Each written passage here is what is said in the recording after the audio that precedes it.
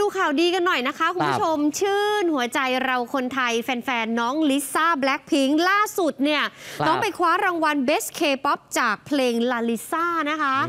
นี่นี่น่ารักคว้าจังรางวัลมาจาก MTV Video Music Award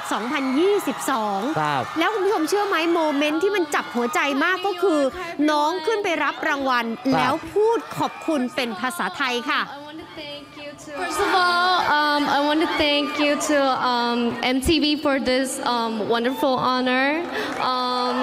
I want to thank uh, all of my um, collaborators uh, in my solo project, especially Teddy Oppa, um, YG. Have a wonderful night, guys. Thank you. ขอบคุณค่ะ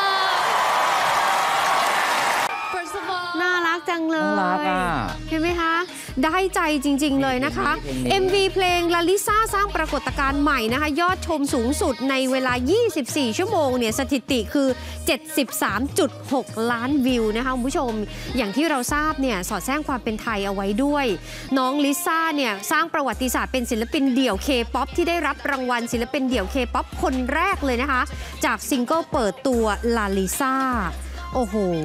แล้วก่อนนาทีประกาศรางวัลเนี่ยสี่สาวของ Blackpink เนี่ยเดินพรมแดงเข้ามาอยากให้ดูนิดนึง ชุดสวยมากเลยโอ้ใส่ชุดสีดำตามแบรนด์ของแต่ละคนที่เป็น Ambassador นะคะครับส่วนของน้องลิซ่าเนี่ยเป็นชุดดำนี่น้องลิซ่าเนี่ยใส่ชุดดำของเซลีนค่ะครับโอ้แต่ละคนสวยมาก นี่ค่ะ ชื่นใจเลย เป็นความภาคภูมิใจเนาะใช่หลายคนค่ะดูไปก็ยิ้มไปนะครับ วันดี สนุกฟรี ดีทุกวัน วันดีโหลดฟรีได้แล้ววันนี้